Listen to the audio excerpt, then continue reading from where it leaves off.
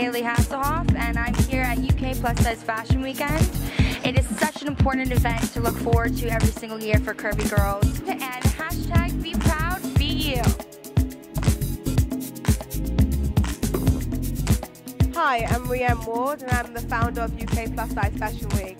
I'm really, really excited that we are now at the end of our three-day extravaganza. It's been amazing to have so many people come from all over the world to be a part and support what we were doing. We've had an amazing day on Friday with a press day with press, national and international press. We had two amazing catwalk shows on Saturday and today has been our customer facing event where we've had people come from all over to shop, be a part of our panel discussion and do some great meet and greet. So I just want to take this moment to say thank you for everybody to support what we're doing and we will see you in 2016.